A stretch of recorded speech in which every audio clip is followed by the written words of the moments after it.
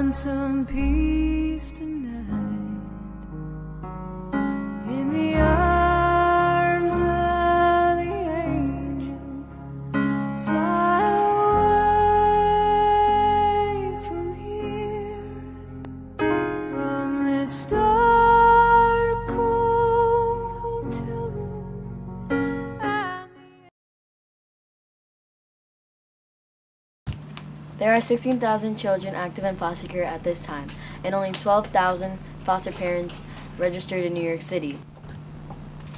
There is a shortage of foster parents and not enough homes for these children. In 2005, more than 24,000 youth left foster care at the age of 18 without a family of their own. We must improve the uh, fa- the uh, foster care system for the kids. It's critical for the future of the generation of our generation and the future of America. We need to improve the lives of children in the, in the system. We must get involved to prevent the abuse and mistreatment of children in the foster care system.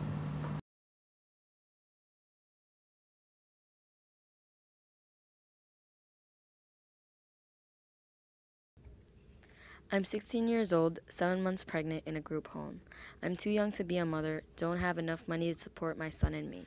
I don't want my son to have the life I had, to grow up in the foster care without a family. I want to take care of my child, but I don't have the services to do so. I don't have nowhere to go or someone to count on.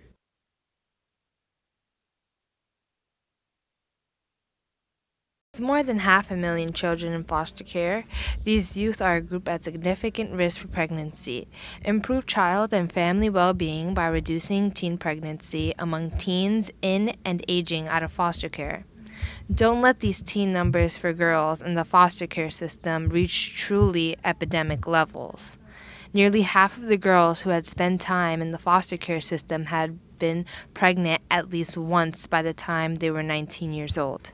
Almost half of the 500,000 or so kids in foster care had sex for the first time before age 16, compared with the 30% of their peers not in foster care.